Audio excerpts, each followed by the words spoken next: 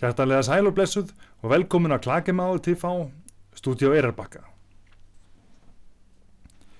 Fyrirverandi kanslæri Þískalands Gerhard Schröder gaggrinir harðilega afstöðu G7 ríkjana, Þískalands, Fraklands, Ítalíu, Japan, Kanada, Bretlands og Bandaríkjana í Ukrænudelinni.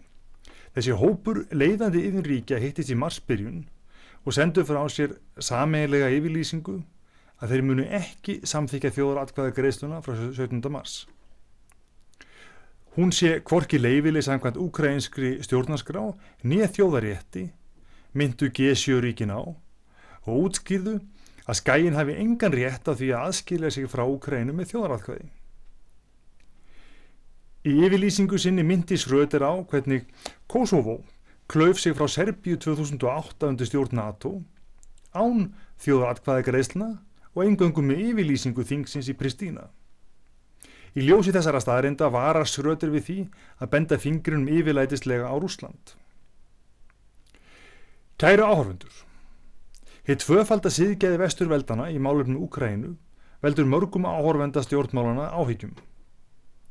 Væri vesturveldunum virkilega umhugað að úkrænska stjórnarskránu sé virt? Hefðu heldur ekki átt að líða að völdunum sé rænt af líðræðislega kjörnum fósetta landsins Janukovic? Sækvæmt 108. grein stjórnarskrar Úkrænu má einungis enda stjórnartíði sítandi fósetta ótímabært af fjórum ástæðum. Segja hann af sér, af heilsufars ástæðum, að lokin í málshöfðun um embættis aflaust eða við andlátans. Þetta þýðir að sangvænt þeirri sömu stjórnarskrá sem J7 ríkin vísuðu fullum hálsi á var valdaránið af Janukovic ólöglegt og skiptir þar engu hversu umdeildur hann var sem fórseti.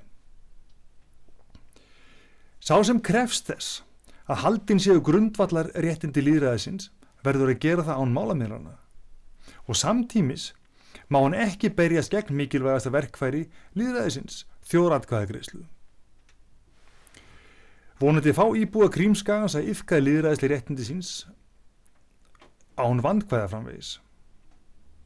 Takk fyrir innlitið, komið sem oftast, fylgist með og fræðist sem mest.